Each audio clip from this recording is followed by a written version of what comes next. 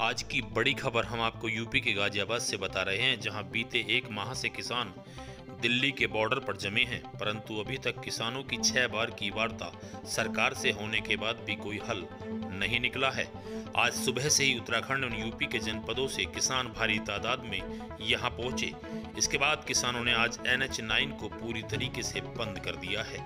उसके बाद से हालात बेकाबू हो रहे हैं। सुरक्षा की दृष्टि से भारी तादाद में पुलिस बल को भी लगाया गया है।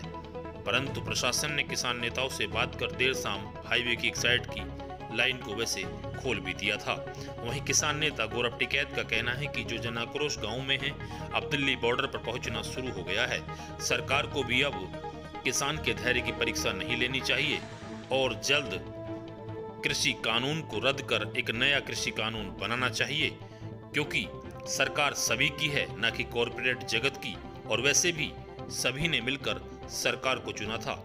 अब सरकार एवं किसान सब मिलकर एक नया कानून बनाएँ, उसी से भला होगा। सुनिए, उन्होंने और क्या कुछ कहा?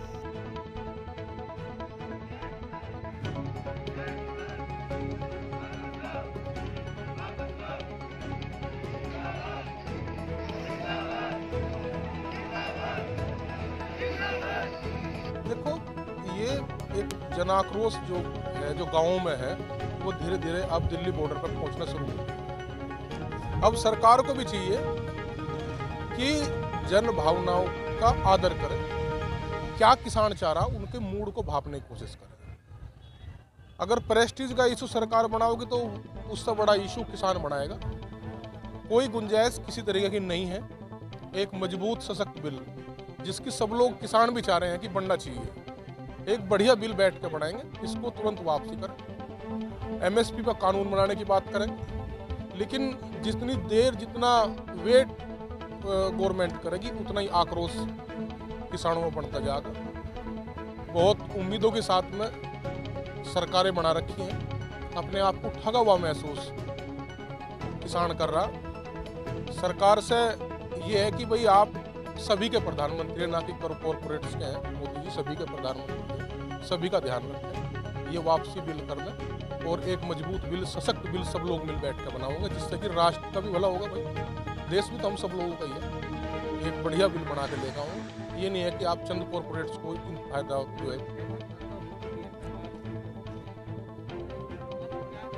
देखो, संशोधन संशोधन करने को बात कह रही है गवर्नमेंट लेकिन संशोधन नहीं। संशोधन जिसमें शुरुआत में कीड़े पड़ गए हों बिल में। कहाँ जो है, जब कोई विश्वास ही पैदा नहीं रहने का, उस बिल में किसान का कोई विश्वास नहीं रह रहा, उसको तुरंत वापसी सरकार करे बढ़िया मज़बूत बिल बनाने का। देखो, पब्लिक की जो किसानों की गैदरिंग है, वो बहुत ज़्यादा आज बढ़ी है, और रात तक और बहुत ज़्यादा बढ़ जाएगी। सभी गाँवों में पंचायतों का दौर चल रहा है, सभी जो है बॉर्डर पर आने की उसमें है, और एक आक्रोश जो जनता को रोकने का सरकारों ने किया बॉर्डरों पर चाहे उत्तराखंड के किसान हो, चाहे उत्तर प्रदेश वो आक्रोश है कि भाई सब लोग अपना सड़कों पर बैठ हज़ारों लाखों की तादाद में यहाँ पे हैं। और किसानों से भी अपील है कि धैर्य बनाए रखें। अनुशासन में ही जीत है।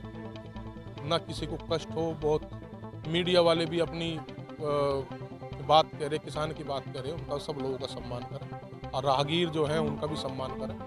क्योंकि हमारी लड़ाई गवर्नमेंट के साथ में है, ना कि जो है आम जो पब्लिक है उनके साथ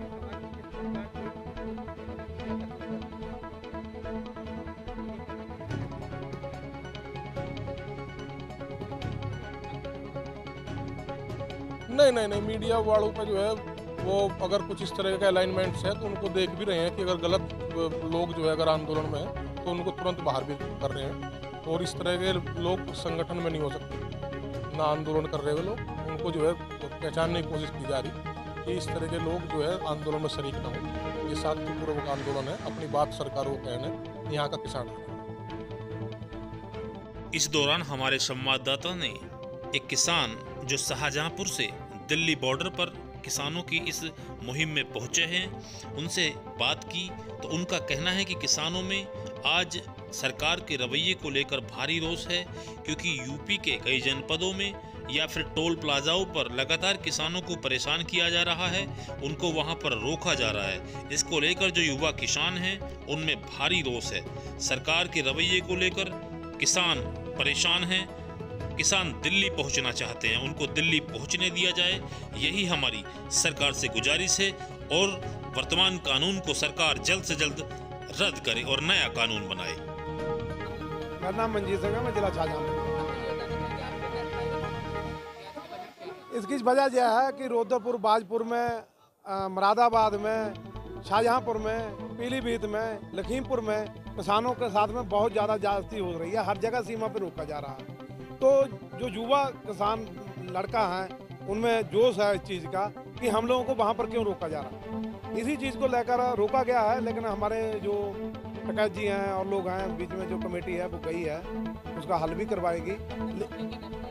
देखो, ये हम नहीं कह सकते, वो कमेटी निर्णय लेगी। और, जो भी है, निर्णय कमेटी के साथ ही है, लेकिन हमारा कहना यही है कि सरकार किसानों को परेशान ना करे, यहाँ तक आने दे, अपनी आवाज़, जहाँ उसकी बात मान ले। ठीक है थैंक यू थैंक यू दोस्तों, अगर आपको हमारा ये वीडियो पसंद आया हो तो इस वीडियो को लाइक करें और हाँ चैनल को सब्सक्राइब करना ना